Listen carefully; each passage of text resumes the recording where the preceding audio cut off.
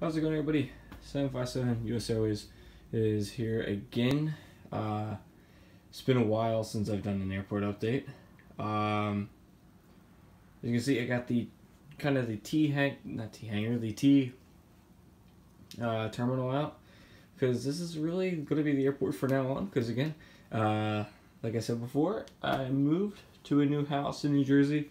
Um, my parents moved. When did they move? It was it, sometime in April. Yeah, it was April. They late April. They moved out of the old house into the new one. So this is in my room. So it's actually a lot better lighting in here. Um, but yeah, I mean, I so far I really really like the house because I got back to New Jersey on Saturday, which was sorry, it was the twenty second. Yeah, it was the twenty second. We got back because my dad and my brother uh, flew out to Grand Forks and we drove back. Um, it was a fifteen hundred mile drive. It took about twenty three hours.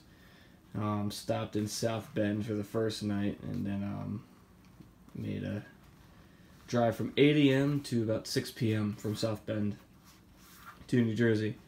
Um, yeah, I mean, I again, like I really like the house. Um, it's got some pretty good views of um, some stuff landing in Philadelphia. Um, they're about on Flight Radar 24 over the house. I live under the approach path of runway 35 now um, for Philadelphia Airport, and they're about 1500 over the over the house now. So it's pretty cool seeing. The only thing that stinks is a lot of them are just CRJs and not ERJs, but um, not like the Airbuses anymore. But um, if the winds are high enough from 350, um, they'll land them on runway 35. But that's all right. Um, at least I still get to see some airplanes flying over the house because I always enjoy just sitting outside sometimes, just uh, just watching the planes fly over. But uh, let's kind of get started here. Um, there's a couple new models in this update.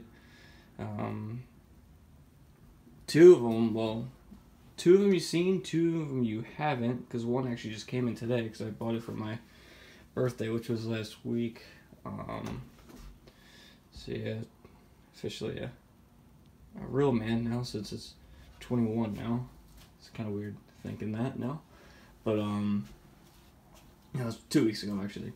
Was birthday. Jeez, forget my birthday was, but um, yeah, I bought that. This one plane for it. So yeah, you'll probably see it when you when I get to it because it's a little of an odd plane, but why not? Um, another thing is all of these planes in here are international. Um, I wanted just a strictly international um, update. So yeah, let's start off back here with the KLM A330 300 about to push back for Amsterdam. We have a WestJet 737-800 in the Walt Disney livery heading out to Winnipeg. A Lufthansa A340 300 Star Alliance heading out to Frankfurt. A Hainan uh, 787-9, he's going to head out to Beijing. A Condor uh, 767-300 will be uh, going to Munich. A Thomas Cook A330-200, he's going to be making his way out to uh, Manchester. Qatar Airways 777-300 ER will be going to Doha. British Airways 777-200 ER heading out to London Heathrow. I'm going to skip this spot. Um, I'm sure you probably see it now from that one. But next up is a make sure it's focus. Emirates A380 heading out to Dubai. Next up is a Virgin Atlantic 747-400 heading out to London. Yeah, he's going to head to London. No, London Gatwick for this guy as well. Um, this is a new model, the Virgin Australia 777-300 ER. Um, we're going to say he's doing he's going to do a one-stop service in Los Angeles. Um, then he's going to head down to Sydney, and again, I kind of have this revolved around um, like a Southern Florida kind of airport. Um, so we'll just say this is the an international side of the airport. So again, he's going to go to Los Angeles, then do a flight out to um, uh, jeez, Sydney. So it's kind of like what Qantas does with the Sydney to LA to JFK kind of service. This is a new model as well. This hasn't been seen yet on the channel. Um, a Caribbean Airlines 737-800. This is made by Phoenix, and he's going to be heading out to Port of Spain.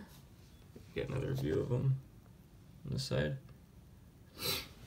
Next up is the Icelandair 757 200 Hekla Aurora. He'll be going out to Reykjavik. Near Canada A321 just arrived from Toronto.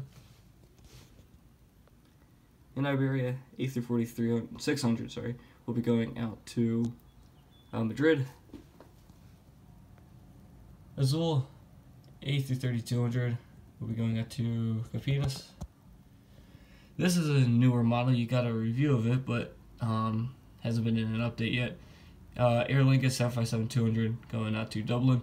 I know that 757 probably can't make that flight, but I want to just feature it in this video, so here it is. Don't really care. Uh, Volaris A321 will be getting out to uh, Guadalajara. And now finally for the last model, is a new one I just got from FedEx today. kind of a different one. The Ukraine International Airlines 777-200 ER. Um, the main reason why I actually bought this plane was because of the fact that I got really big into the HBO uh, show Chernobyl. It's like a five episode mini series kind of thing. And after, I mean, the game, so I kind of give you a backstory of really why I want to watch it.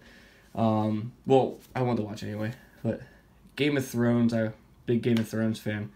Um, season 8 was okay, it wasn't really the greatest, but I mean, I'm still a Game of Thrones fan. I mean, and I really enjoyed it. But it wasn't like the best season. And then everybody kind of said, oh, HBO released Chernobyl because was bad. But Chernobyl honestly was a lot better than season 8 of Game of Thrones. But again, I got it because of Chernobyl, really, because again, I got really into it. But this Ukraine International Airlines 777-200ER, he's going to go down to Kiev. So, I believe is the capital of Ukraine. But I mean, honestly, if I got to be completely honest, this is probably the best 777 model I have. This thing's incredible looking. Um, I feel like it's definitely a, a sleeper model that no one really knows about because it's just it's just really nice. But um, yeah, um, I can show you. Uh, well, actually, it's a lot better now knowing that like this is in my room, and I have all of my mo other models kind of in here. So we have the Americans up there, U.S. Airways, a lot of international. No, not really. There's just uh, Virgin, JetBlue, Frontier Spirit, Air Jamaica. There's another new model. Well, kind of new model, but you all seen that silver. And then you have the British Airways. Uh, a couple of internationals in there. Southwest, China Southern, Finnair. Finnair is the one I forgot to put in here, and China Southern. Well, they'll be the next update. Um, then you got some Deltas, um, Uniteds, um, and then a couple other international stuff. I've gotta fix that Legion real quick. Store sticks. That's the only thing I dislike about this cabinet. So, so yeah, that's gonna probably wrap it up for this video. Um, again, I really enjoyed um, how this came out again, and I really enjoy having those two new planes, those that Ukraine and the Caribbean. Um, really nice models. If you can find them, I highly recommend you pick them up. But yeah, that's pretty much going to wrap it up for this video. Um, really nothing else to really talk about. So, uh, stay tuned for those two reviews coming out soon. So yeah, thank y'all for watching, and I'll see you guys in the next one. Bye.